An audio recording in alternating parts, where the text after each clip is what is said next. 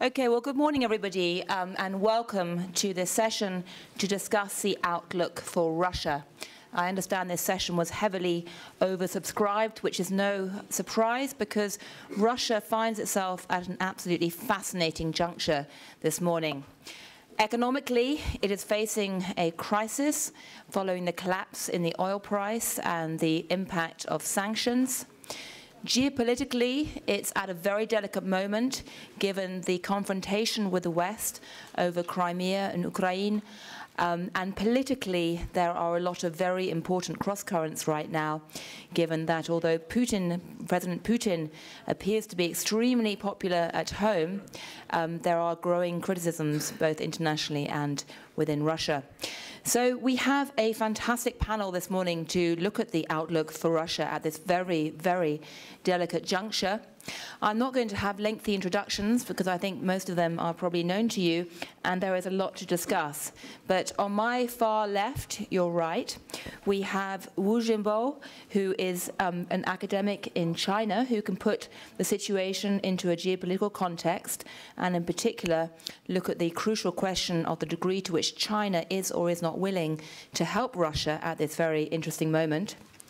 Next to him, we have Alexei Kudrin, who is a man very closely watched at the moment, who was previously finance minister in Russia, is currently an academic, but has been voicing some very interesting views about the current economic situation, and I'm sure that many of you will want to hear what he has to say. Next to him, we have Sir Michael Rake, who is single-handedly representing global business outside Russia. He is the president of the CBI, the um, chief British business group, and he'll be giving us a perspective on how Russia is or is not open for business at the moment. Um, next to him, we have one of the most important bankers in Russia, Andrei Kostin, who is CEO of chairman of VTB Bank, who can talk to us about the impact of the sanctions on the Russian financial sector and the help it is or is not going to receive from the central bank. And on my immediate left, your far right, we have um, Deputy Prime Minister Igor um, Shuvalov, who is going to be explaining to us exactly what the Russian government can or cannot do to get out of the current situation and whether it has any regrets about some of the events over the last year. But um, I'm going to start with um, Kudrin to ask you. You have expressed some very strong views about the severity of the economic crisis um, and the challenges. And so I'm curious, when you look at the economic situation today in Russia, is it worse than, say, in 1998 or 2008? And do you think it's going to be possible to exit the current problems without a full-blown crisis? And um, the speakers will be speaking both in Russian and in English. I think most of you do have um, headphones, so do look at those. And I will say that although this session is closed to the reporting media, it is on the record and it's also being webcast. Спасибо. Э, Thank you. A couple of issues uh, which are extremely crucially important for the Russian economy. Uh, probably we have already exhausted uh, the previous model of development uh, when uh, an average uh, growth was about 7% annually. And this growth was based on the growth, growth of demand. and this driver, we have lost it. Um, it doesn't work anymore. Even two years ago, with high prices on oil, we didn't get this growth. And the most important problem, uh, low productivity, which uh, doesn't secure, and uh, this productivity is not uh, uh, supported by the um, competitiveness that we need by the corresponding relevant institutions. and thus, we have to have a totally different structure of economy. We lost some time and we didn't uh, finish uh, building some uh, of the relevant institutions and structural reforms. Uh, and this is also, I'm talking about uh, myself here because I worked in the government at that time. And uh, of course, not uh, I was not alone in taking all these decisions, uh, but um, uh, there was a certain movement. There were shifts in terms of political challenges that we faced at that time, in terms of being good uh, for our uh, constituencies. Uh, um, um, huge expenditures for social support, and uh, we didn't pay uh, sufficient attention to infrastructure. So when we say uh, let's start uh, searching for structural reforms, um, well, we have to uh, say that there is a share of the government, a state in the economy. I mean, strong regulation on the part of the institutions, but at the same time, the government, the state, shouldn't work in the market as it happens today in the oil and gas sector, in industries. One of the uh, problems uh, is that uh, uh state corporations uh, um, were not successful in uh, creating an innovation economy. Uh, this is uh, absolutely so. Uh, we are doing something, of, okay, but it's 20 times less than what we had to do in, in, terms of the competitiveness of Russia. So uh, this model of state corporations uh, uh, failed. Social security, social protection, traditionally Russia and Soviet Union, the, the, country was very strong in terms of social protection.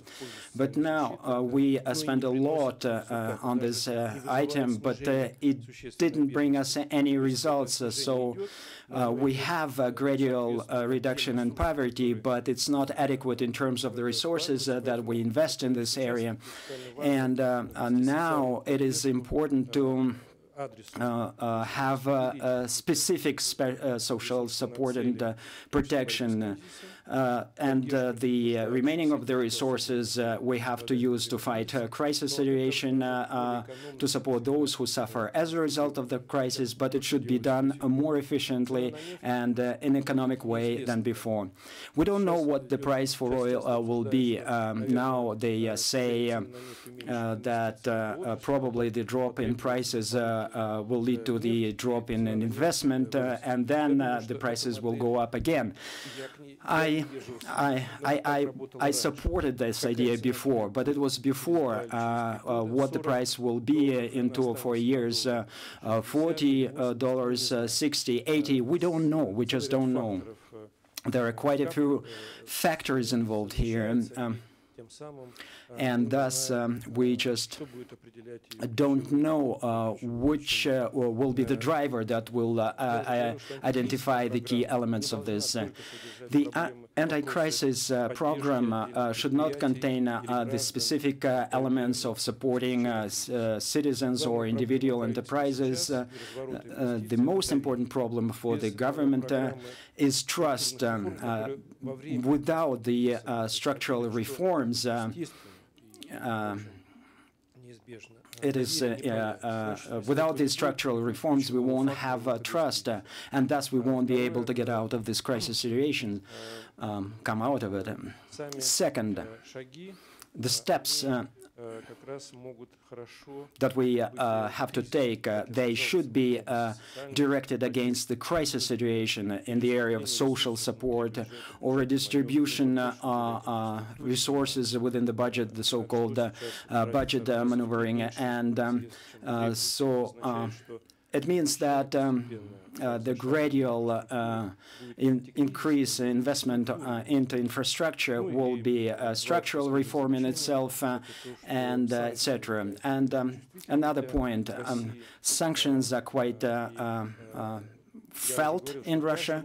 And uh, even under the conditions of sanctions, uh, uh, we can achieve growth. I uh, spoke about that. Uh, uh, but we have to understand that we have to have a vector of our activities to take steps to settle, to regulate, and then the sanctions gradually are going to be reduced. at least we have to know that they will be not increased, they will not be tougher, stricter, so that we could fix a certain problem problem at certain level and move ahead ahead. Uh, if the sanctions are going to be increased, uh, uh, the uh, 50% of the measures that we are proposing, they will be just inefficient. And the final point, it is very dangerous today when the government is hugely committed in terms of social support and defense expenditures, measures against crisis situation, very expensive.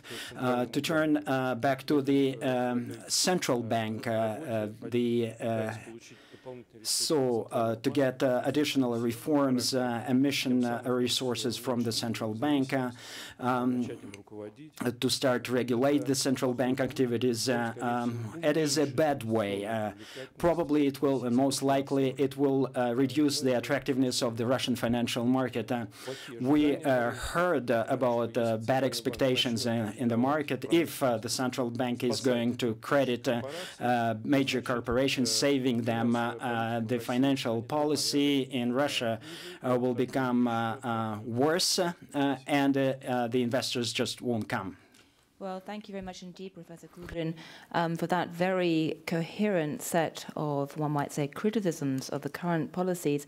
Um, I'm going to ask the Minister to react in a minute, but first, um, you sound as if you have quite a clear idea about what the Russian government should do next. Would you like to be in it again?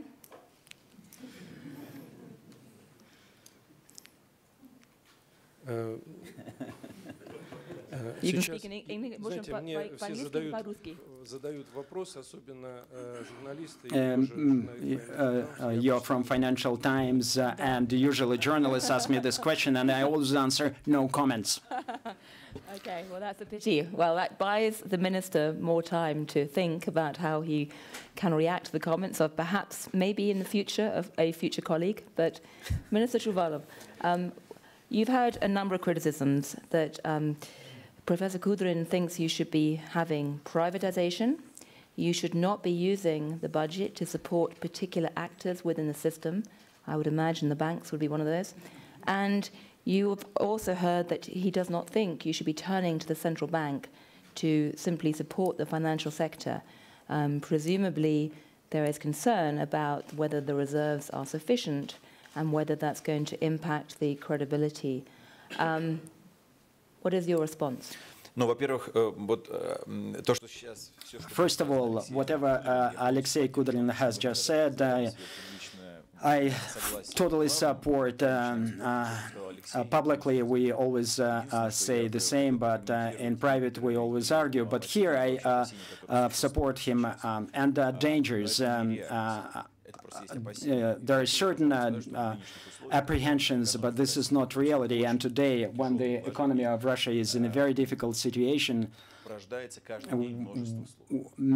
a lot of uh, um, talks we hear and uh, gossips uh, uh, what we plan to do, or the president of the Russian Federation plans to do, etc. Uh, we start with the central bank. Um, the bank, uh, which uh, acquired its status uh, a year ago, has a unique um, status and unique opportunities and possibilities. Um, and the Russian government, even if um, there is a will and desire to uh, control uh, the uh, authorities of the bank, it is not possible. And it was done. Um, it was done as an institutional achievement and uh, uh, because of the um, skillful uh, leadership of the previous leadership of uh, the Central Bank of Russia, Mr. Ignatiev, uh, they carried uh, the work and they built the bank as an independent institution. Well, eh, many think independence is total independence even from the reasonable approach. no they always carried independent uh, policies, uh, and the Bank of Russia um, uh, became a single regulator um, on the financial markets, uh, in, including uh, it took independent decisions. We had a certain period of time uh, so that the government wouldn't encroach on the authorities uh, of the central bank uh, when the uh, government uh, couldn't uh, interact with the bank, but it's in the past. We'll learn how to interact with the bank through the board of directors and other instruments uh, to interact and cooperate with the leadership of the bank, but I'll be open. maybe you know how, the, how it works. the Bank of Russia is taking its decision independently and often takes this decision against the position of the Minister of Finance and the Minister of Economic De Development. And, and uh, there are no signals uh, that we have to change the situation. Um, uh, uh, uh, often we have to listen to the Minister of Finances because that's his responsibility um, as a whole. So, both the president and the administration of the president, they understand uh, the responsibility that uh, uh, we have, totally, all of us, uh, so that to maintain these achievements with respect to the Central Bank of Russia. And nobody is going to ask questions about the status of the Bank of Russia. Uh, not a single additional measures uh, to influence the bank so that we could squeeze out of them the liquidity, so to save some state corporations.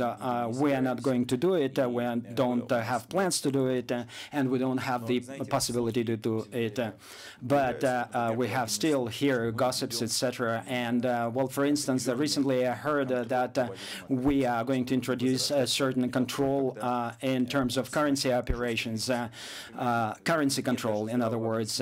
but we cannot even explain this position. why should we do it when a dramatic change in exchange rate happened?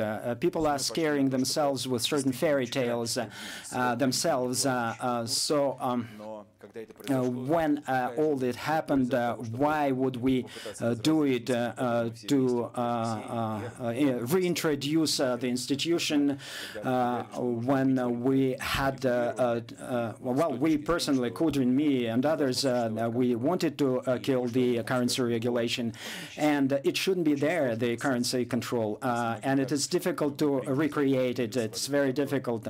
If we take the law, um, it's, it's it does nothing uh, because uh, when we have uh, when we had commercial banks before 2007, whereas commercial agents, we had a very efficient currency control. Then we lost it. Okay, there are many other things. Uh, uh, there are no crazy people in the Russian government. Even even if, even if you want to see them, uh, they are not there, and we don't have uh, crazy ideas. Um, uh, we don't discuss them. Um, indeed, we have a parliament. Uh, many think that they they absolutely that it is totally subordinate to, to the Kremlin, but I am dealing with the economic policy, and I can say that uh, you cannot order anything uh, to the parliament. Uh, we cannot uh, uh, ask president uh, or Prime Minister Medvedev, please help us in um, putting through a certain legislation. It is not possible because they have certain, there are certain and sometimes very tough position. well, for instance, sometimes they are against the position of the government, and sometimes uh, even uh, interfere with the policy of the government. Uh, I mean, in terms of everyday uh, politics, politics and activities. Um, Wolf uh, uh, about the legislation about Mastercard and Visa card. it is legislation that is very difficult to implement, and the administration of the president and the government advise them not to do it. the law, which will be difficult to implement, which will be counterproductive. But they didn't listen to, uh, to us, and they adopted this legislation. Sometimes uh, uh, um, uh, leaders of the Communist Party or leaders of some uh, political factions, uh, they say that reintroduce currency control through emissions, we have to carry out investment programs. they talk a lot, but we have to look at the legislation that exists in Russia, and it's quite modern. In Russia, we have problems in terms of the implementation of the existing legislation, and so that everyone would understand that that uh, everyone uh, should abide by the law. But at the same time, uh, when we hear these absolutely extravagant, absolutely um, different positions expressed, well, about the crisis situation, um, sometimes you identify parameters of the crisis situation, uh, but uh, Andrei Leonidovich and others and other colleagues and friends in the uh, in this uh, room, we uh, uh went through the uh, most difficult uh, crisis in 91-93 when we didn't have food on the shelves on the shops, we didn't have money, the enterprises didn't work, we had a natural exchange of goods, a total collapse of the country. The country just uh, uh, collapsed, uh, the Soviet Union collapsed, and a new country appeared, the Russian Federation, and we had to learn to live in these conditions.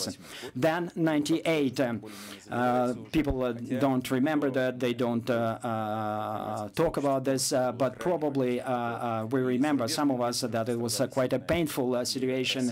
Foreign investors suffered, the Russian companies and citizens of Russia, because we went through the collapse of the banking system, um, many deposits of the people were just lost and uh, very high uh, uh, devaluation, deval devaluation. And then the crisis 2008, 2010. so when we uh, ask the question, what do you think of this present situation? Well, I can say that uh, uh, looks like it's softer than before, but this is just um, um, uh, if we take the uh, depth and the, the complexity of the situation, I think that uh, we are going into a, a longer uh, crisis situation, more protracted one. Uh, of course, uh, uh, well, what would happen if the prices uh, go up? Uh, uh, Alexei Kudrin said that nobody knows what the price will be, but uh, the difficulty of our economy is going to be more difficult because our constituencies want more expenditures if the prices go up for oil. So nothing is good in this current situation. It is a very difficult situation. It's going to be worse, and the anti-crisis uh, plan should uh, a should be aimed at the uh, the ad adaptation to the hard landing, as was said before. Um, um, and um, uh, we have to learn how to live uh, from citizens of Russia to corporates uh, in these difficult situations. And we have to carry out reforms now, reforms that we've been talking about a long time.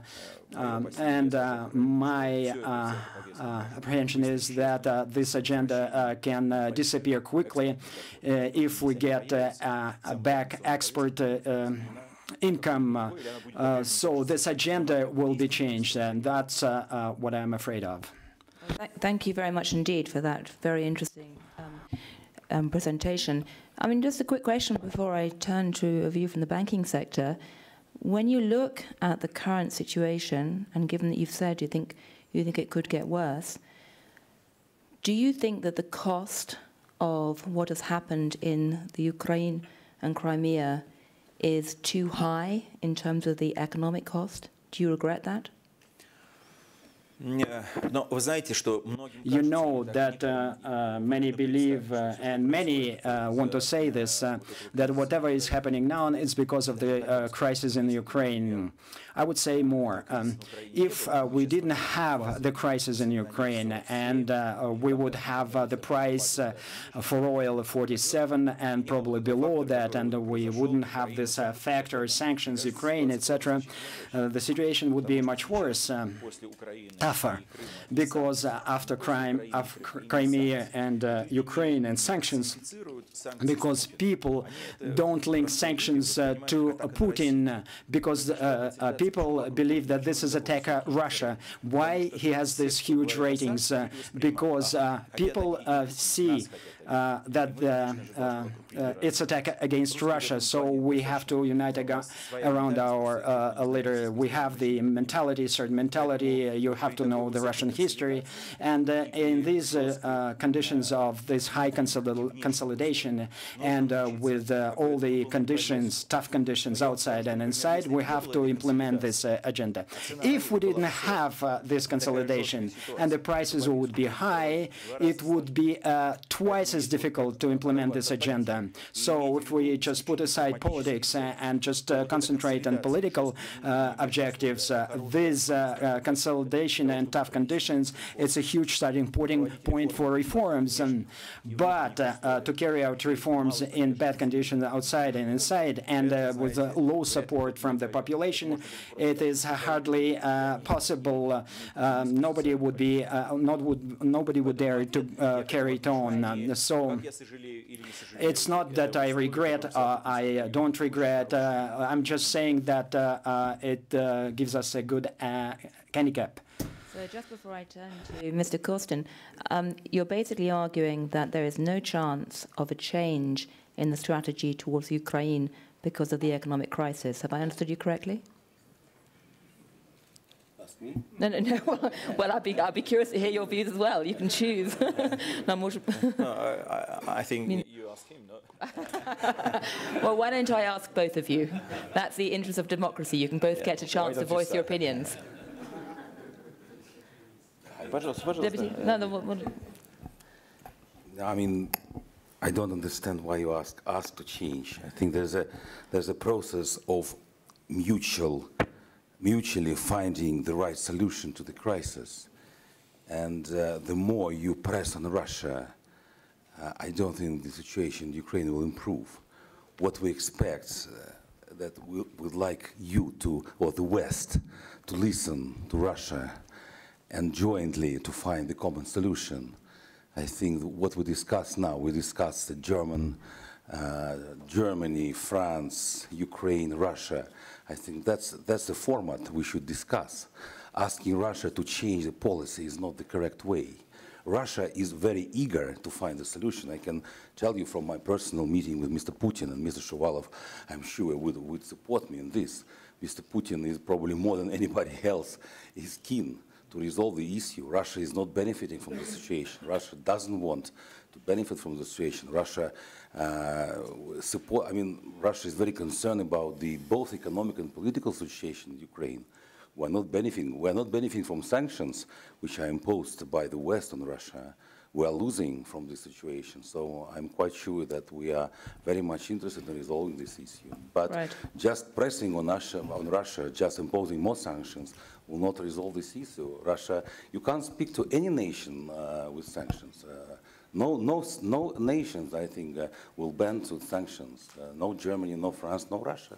And uh, I think it's completely uh, wrong approach. Um, and uh, I think the business community, I have to uh, openly say that I'm meeting a lot of people here, no businessmen. I met at least, no banker I met, saying that sanction is the correct way. Right, well, thank you for that very clear view. I don't know whether the Deputy Prime Minister wishes to add anything about but that. Can if not, I we'll add later to... something? Because otherwise, you know, I wouldn't be able to comment after uh, everybody. Okay.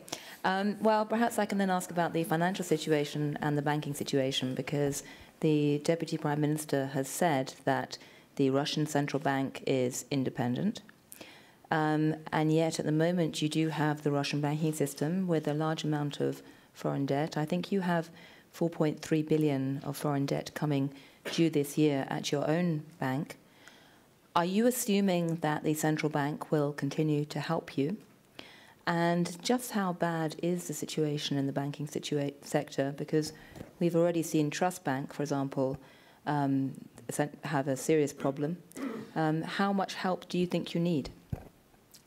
Situation probably not bad, but it's different. And uh, I would say it's not it's not the way which uh, I would like uh, my bank to develop because uh, starting from 2007, uh, when VTB was 100% uh, government owned, we set a program with the, with the agreement of the government, of course, who, uh, who was and still our main shareholder. We set a target to privatize our bank, to fully integrate the bank into international banking system, and that's how we started our privatization programs. In that time, uh, we had a number of uh, privatizations, and uh, we successfully sold, I think, up to 14 billion value stocks to the international market. But today, mainly because of the uh, for a number of reasons. One is, of course, the sanctions, which are not uh, allowing foreign investors to buy our new stocks, and secondly, because of the worsening uh, economic environment, we uh, we are not in a position to uh, further privatize our banks. Mr. Kudrin mentioned that one of the problems for the Russian economy is uh, too much government um, in the economy, but we're now restricted by, for example, sanctions by further privatization. So 60% um, of our stocks belong to the government, and uh, we now uh, have no um, possibility to uh, approach the international market for uh, the debt market. So the only, uh, the final uh, resource for us is the central bank. so we are borrowing from central bank, and we get a large support from the Russian government for um, our capital. Uh, but um, our external debt to foreign debtor, uh, debtors at the moment is around $30 billion. Uh, it's equally spread for the next 10 years. This year, as you correctly pointed out, we have to repay about $4.3 billion, which represent only 2.5% of our liabilities, which is absolutely no problem for our bank. Um, and we, we don't need any support uh, of the central bank or the government from this point of view. I, I'm quite sure that overall, uh, neither Russian government nor Russian corporate sector uh, would have any problem of repaying the debt either this year or next year.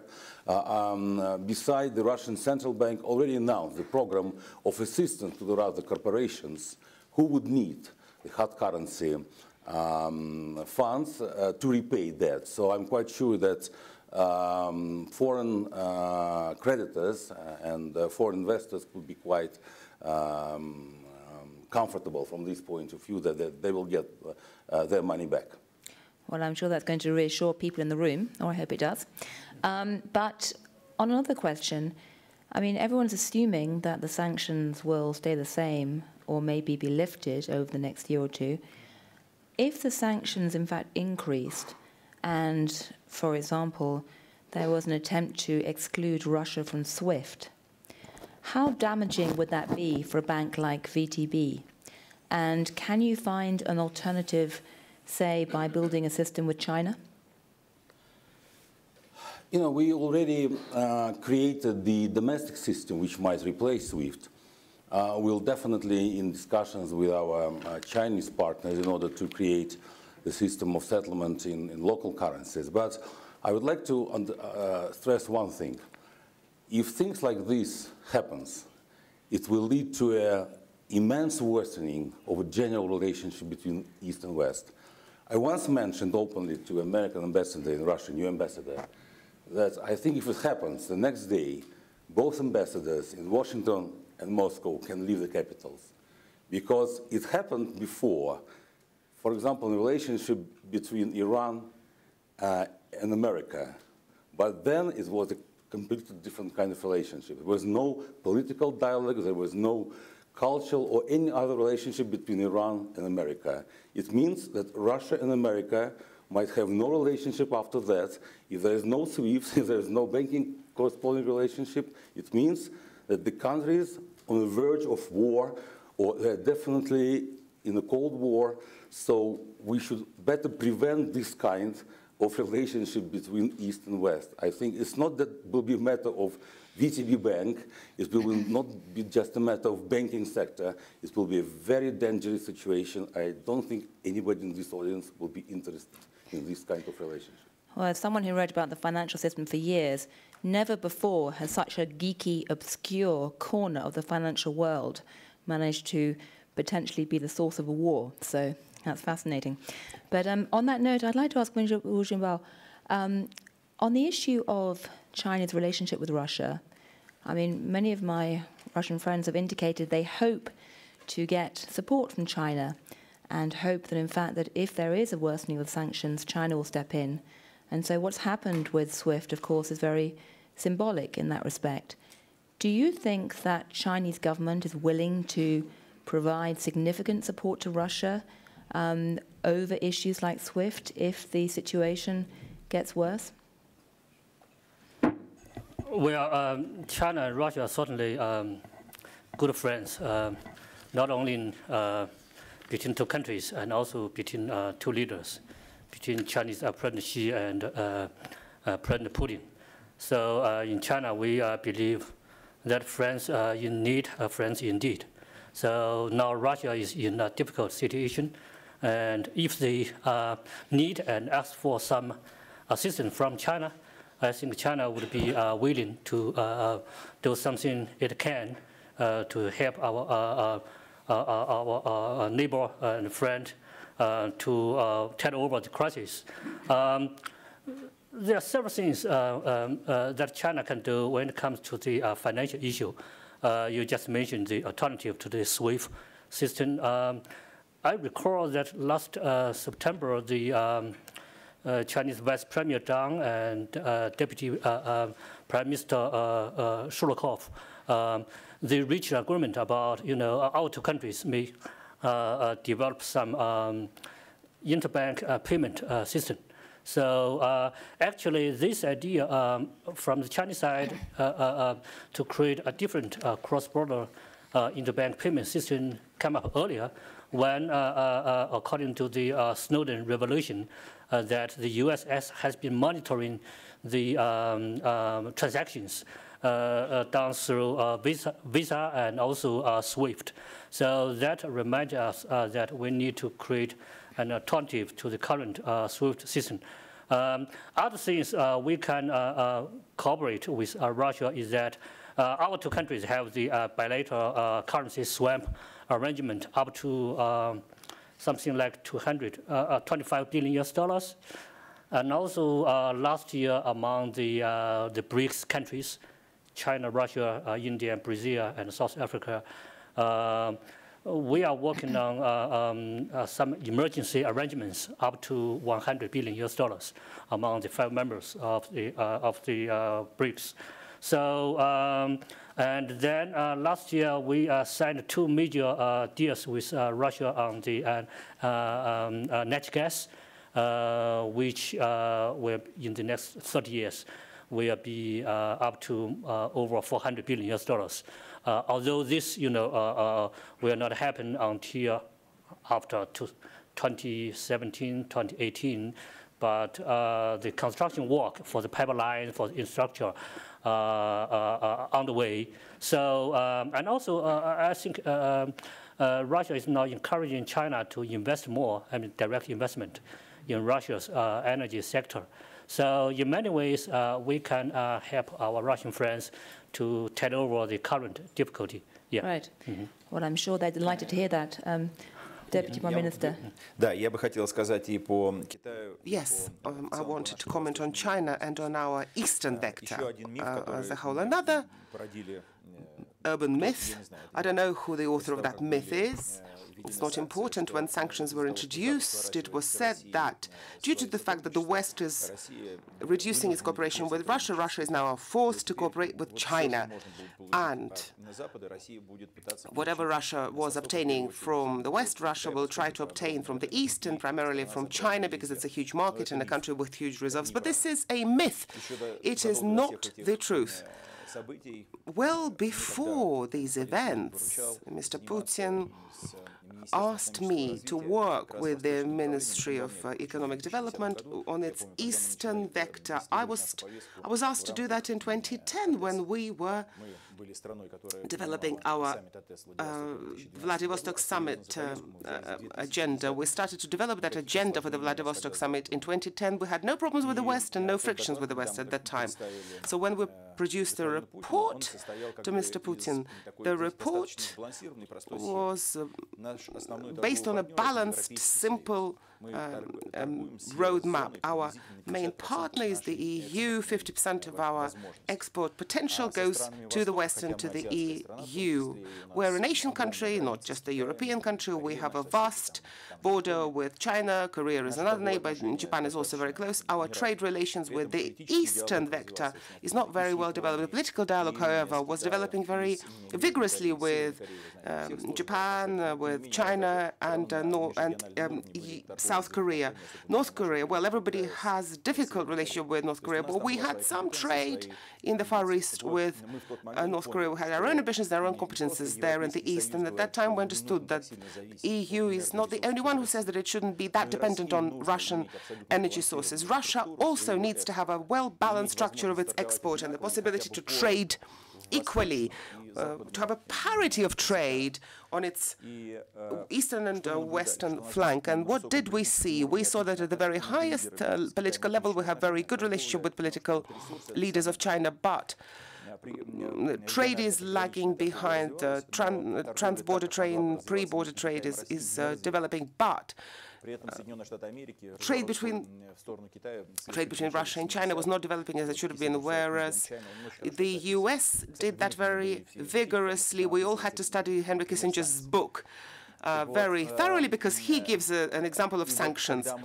and what to do with sanctions. Anyway, um, when we decided that we had to develop our relationship with the East, and President Putin talked about it in September 2012, uh, it was not emotional. It had no uh, wicked intention behind it. This was a very pragmatic agenda. In order to be a strong economic uh, system, we should learn to trade with the East as well as we're trading with the West, not just in terms of volumes, but with a totally different different range of products. But when sanctions were introduced, many said, well, we won't trade with you, we will force you to behave in a particular way.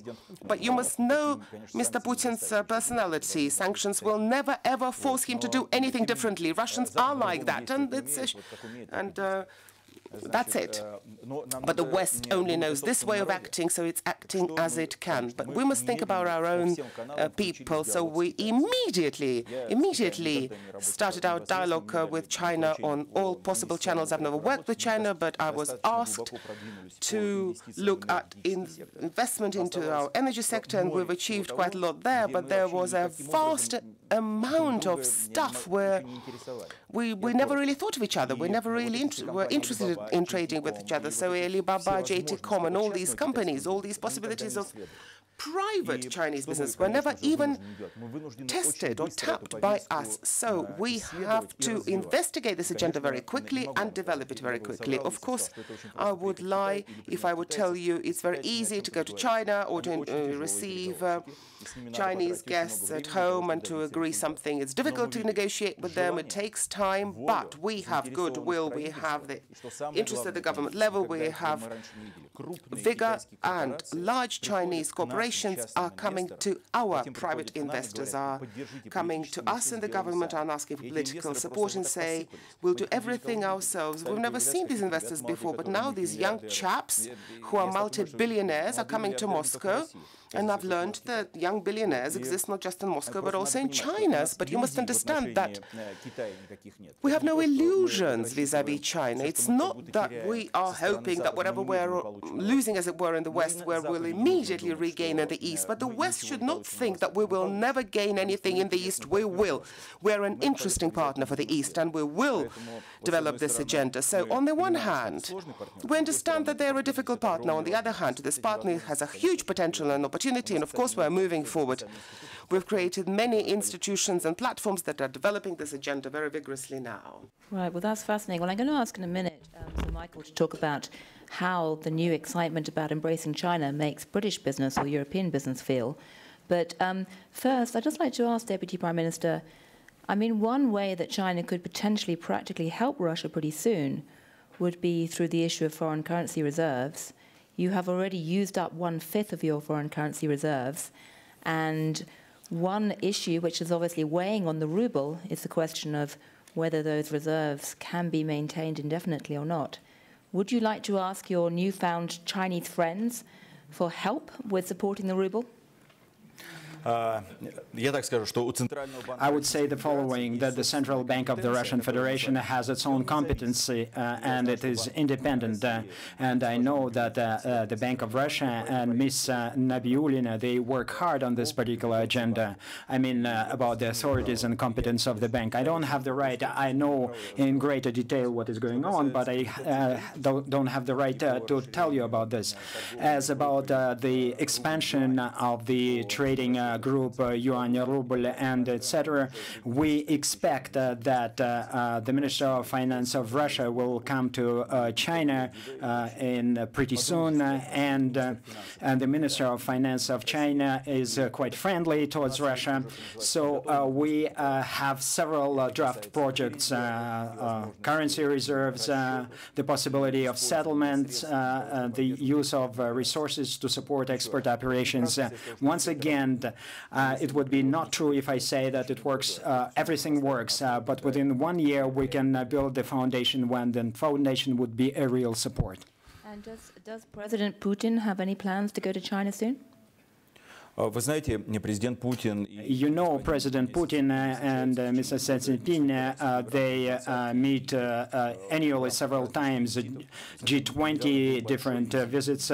recently, we had a big visit of Mr. Putin to Shanghai, to China, and they met, the two leaders, and, and um, after um, long protracted negotiations, they signed the gas contract and many other contracts contracts and agreements, 40 of them, but they meet on a regular basis several times a year. Um, and of course, uh, it will uh, be the same in the future, uh, but you uh, should uh, remember that uh, the first foreign visit, which was conducted by the Chinese leader, was the visit to the Russian Federation. It was a state visit, and the agenda was quite tense and exhaustive, and they, he proposed several formats, but unfortunately, Russian probably uh, couldn't read the signals, uh, and now we're coming back and the Chinese way and etc. So that's what we are going to develop further with China.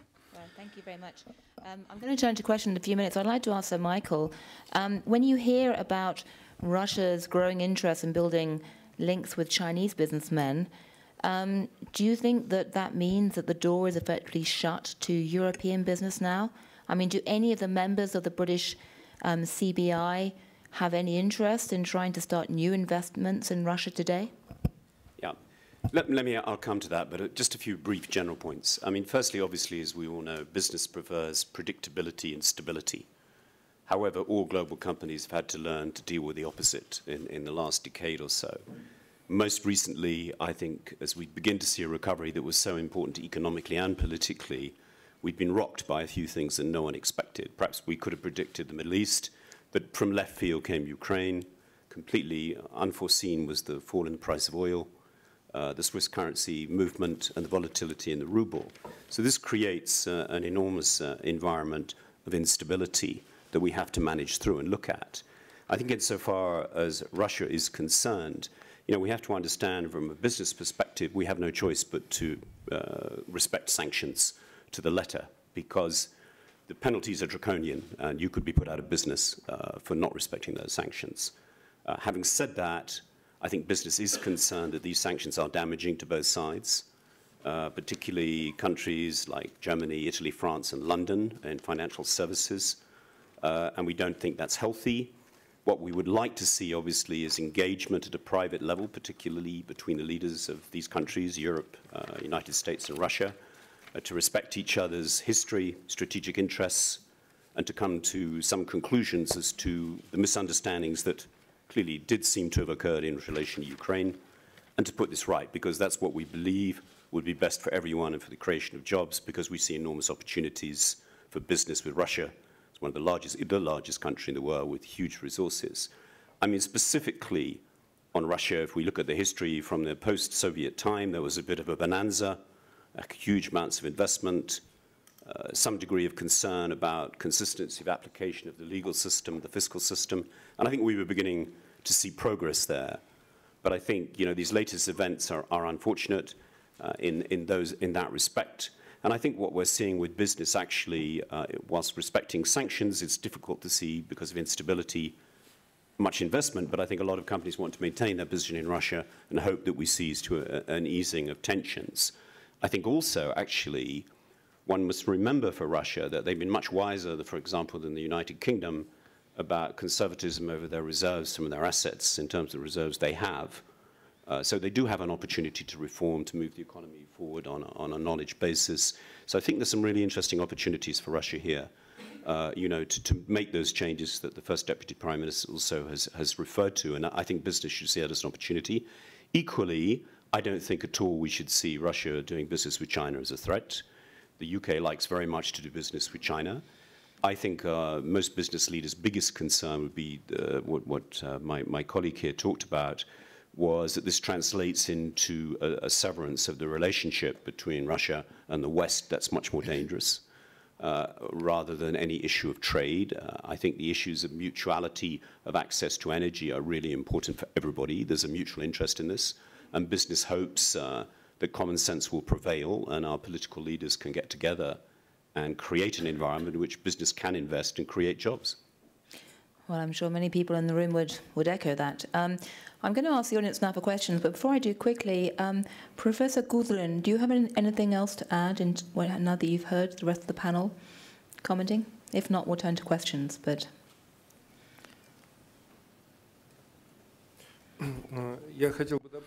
I would like to add um, maybe I'm uh, more independent uh, now than uh, when I was in the government. Uh, uh, the role of the sanctions is really, really uh, high. we should not underestimate it. I am against sanctions. I also do believe that they destroy the international infrastructure, not only Russian, but international, global as well.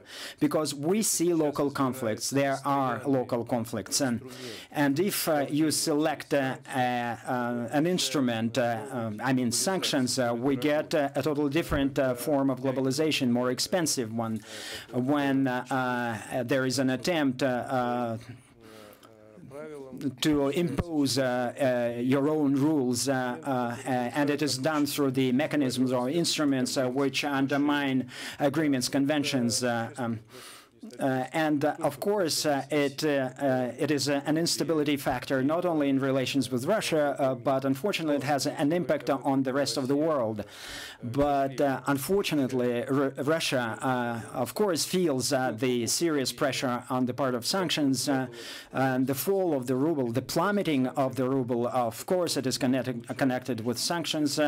we don't get um, foreign financing, not sufficient, but we are going to pay uh, the credits, uh, 120 billion uh, dollars. Uh, uh, part of it it will be re refinanced apparently, uh, but again, this is a lot of pressure on the exchange rate, uh, and uh, uh, about 90, 100 billion dollars will leave the country, and this is a huge blow to the Russian economy. so we mm, um, shouldn't underestimate that.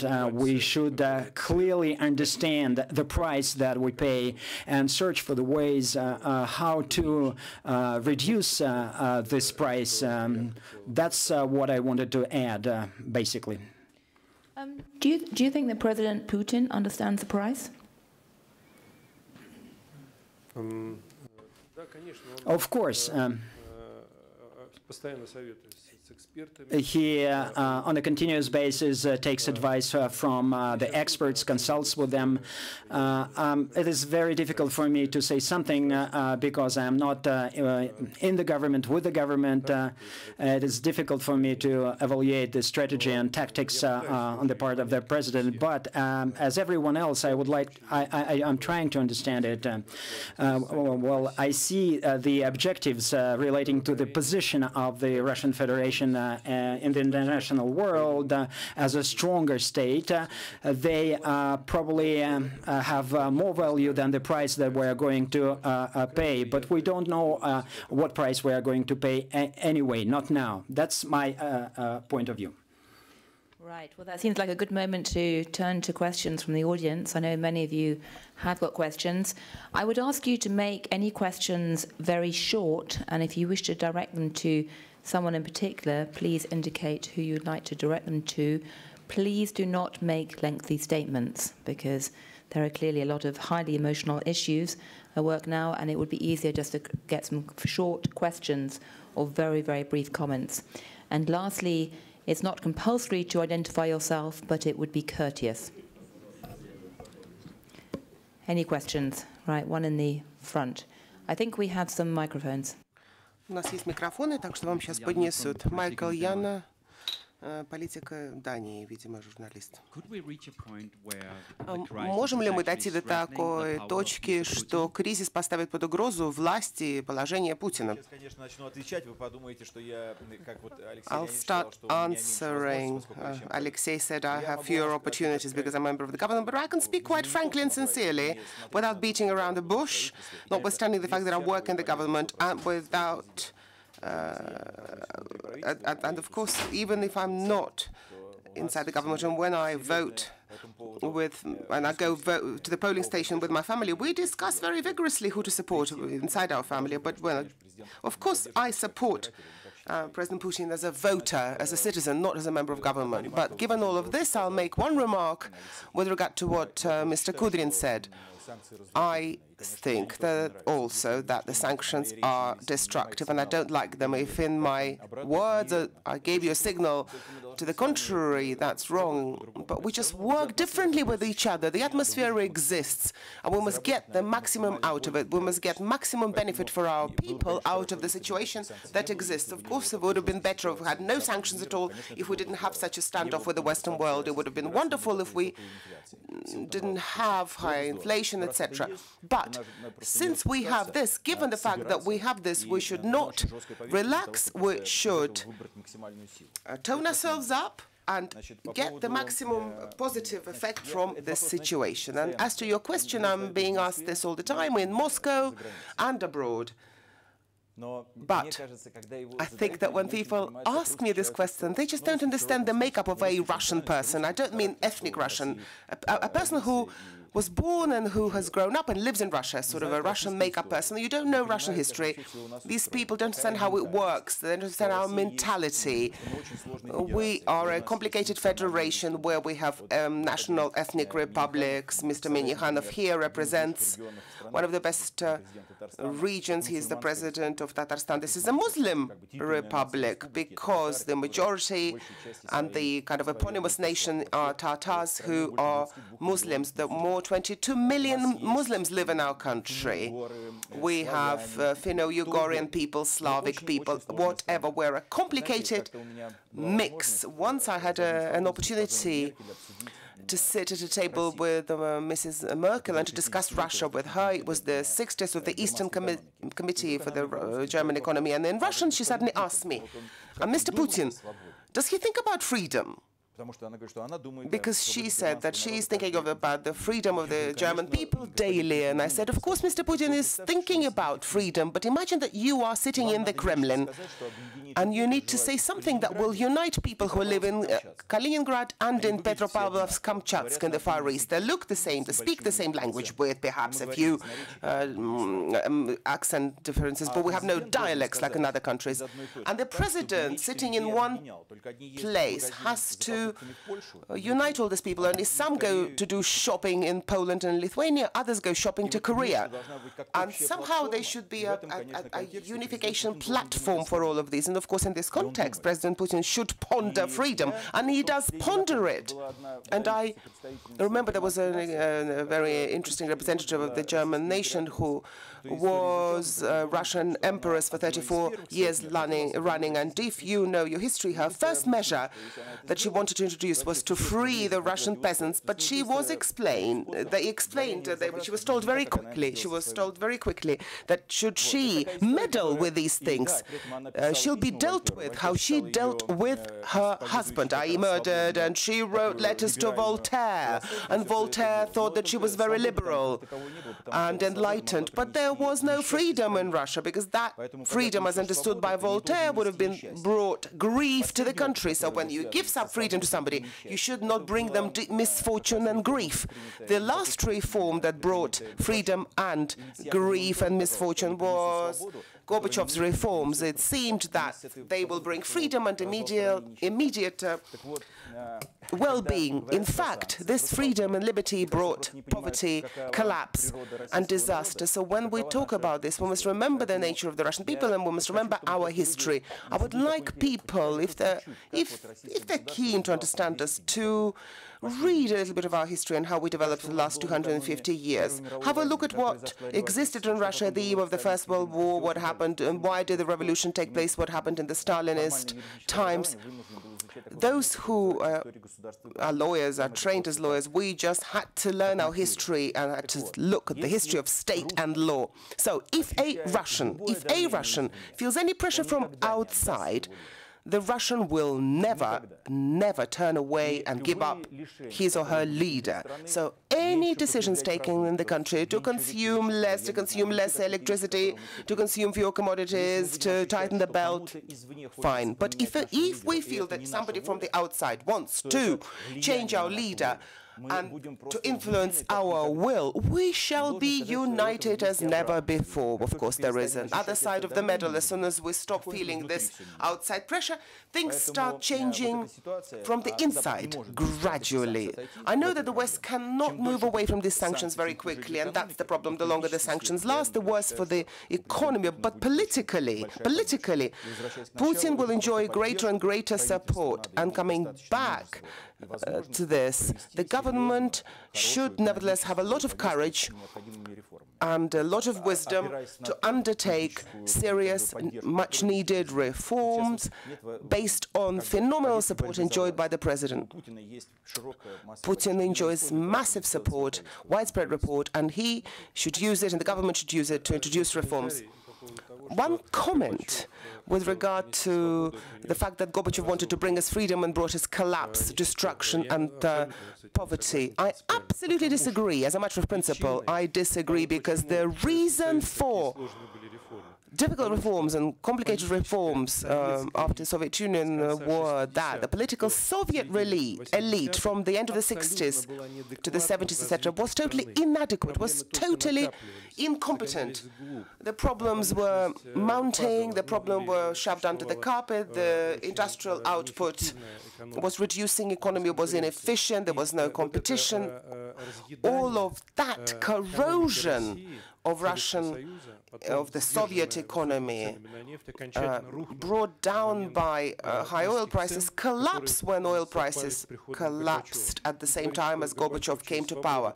So when one says that Gorbachev brought freedom and brought destruction to the country, that is totally wrong. Okay, I have to reply. This polemic is very interesting.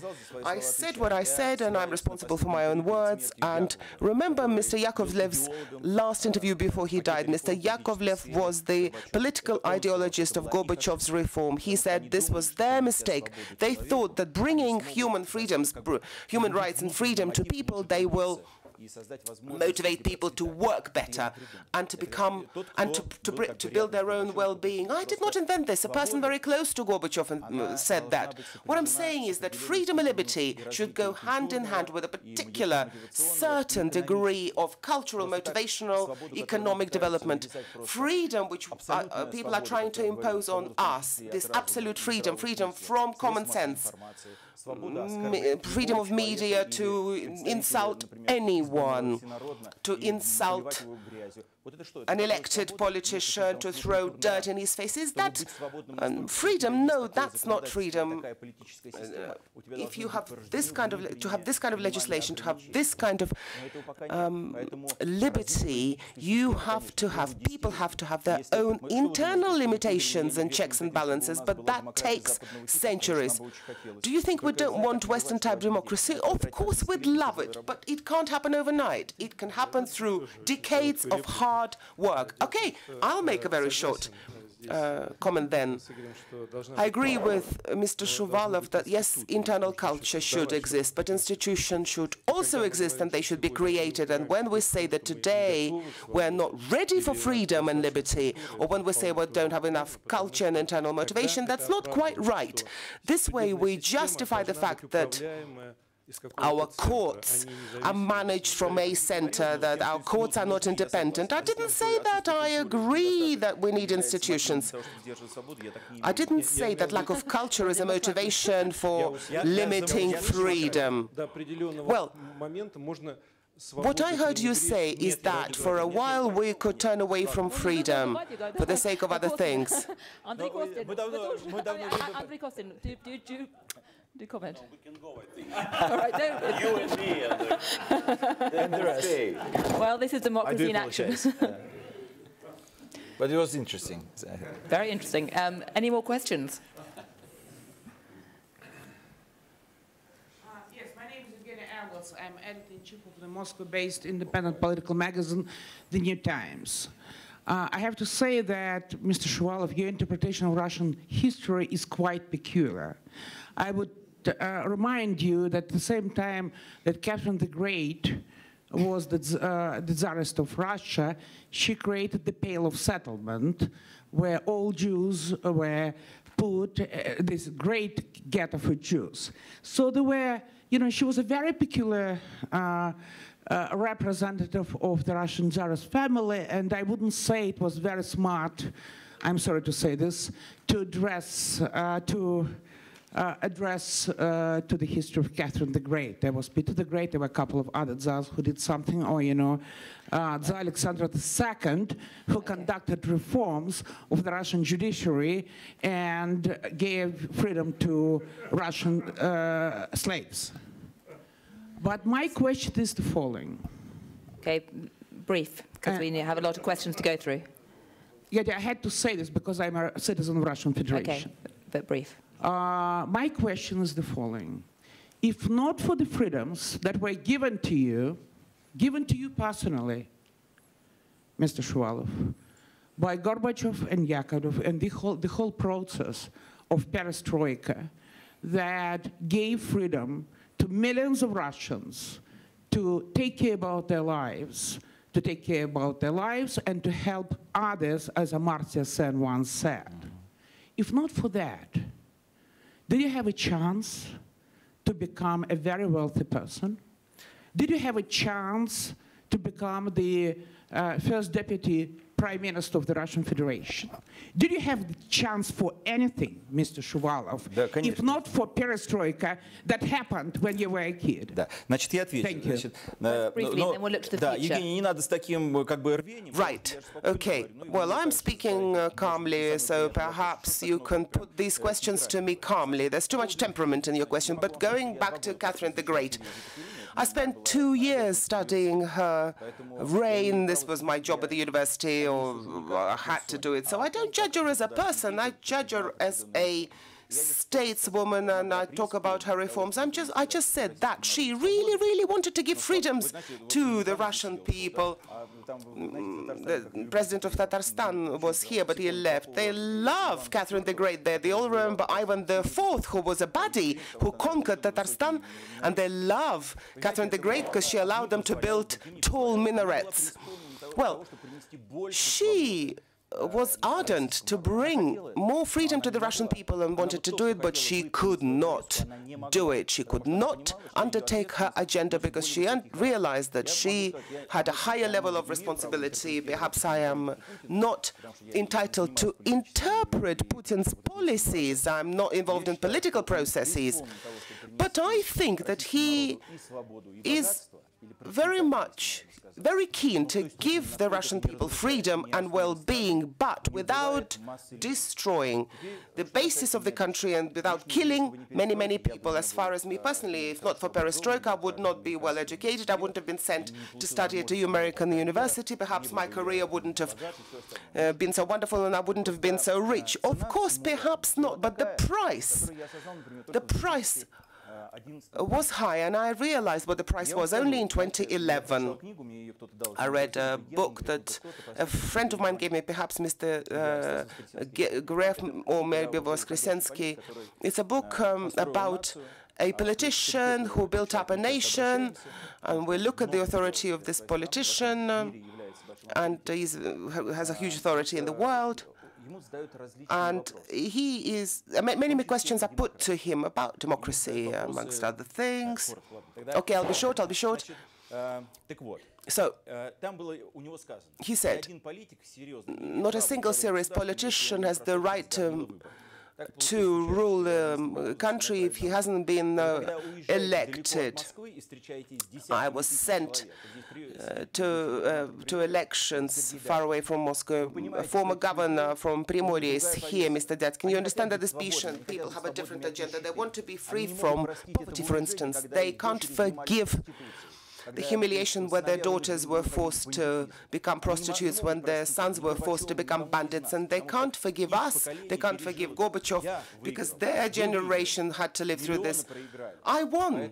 I received advantages, and you did, but millions, millions didn't. I'm just saying that what happened was happened in a very cruel way.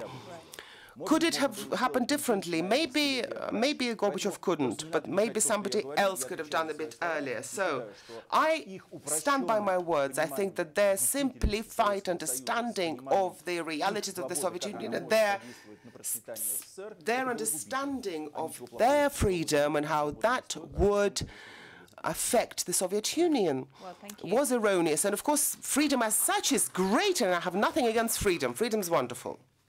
Well, we're almost out of time, and we have one very, very quick question.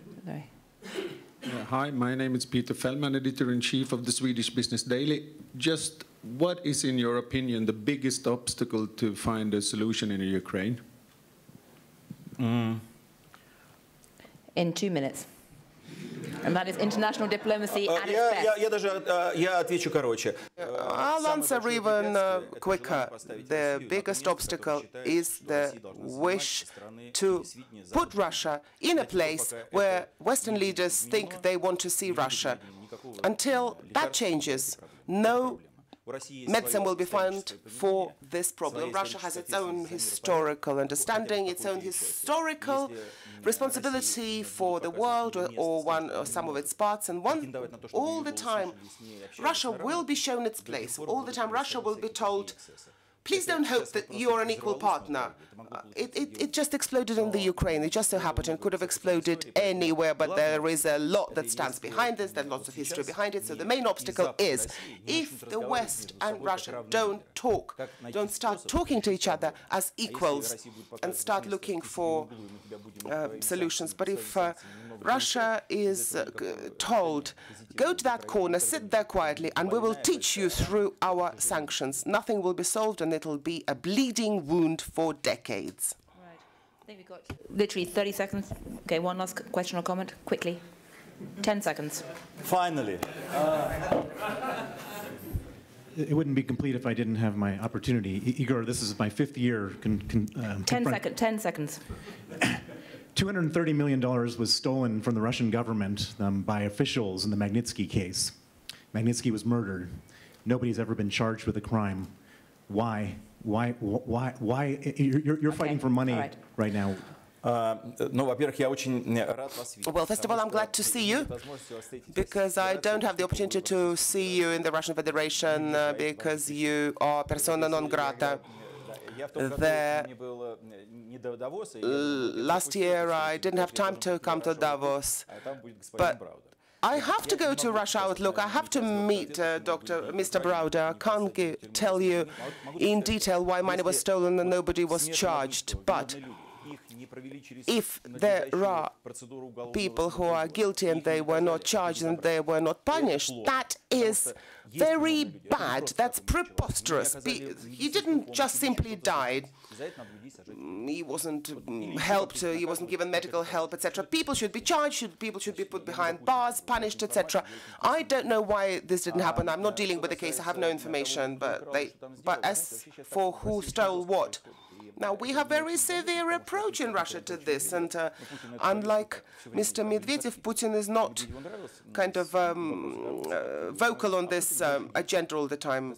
Putin acts more than talks, and he acts quite severely against various officials who use who use various mechanisms to take part in less than legal operations. The time will pass, and I, as far as I understand, the president, he aims long and aims at a long-term target. The system will change, our taxation system is changing, and the matters that Mr.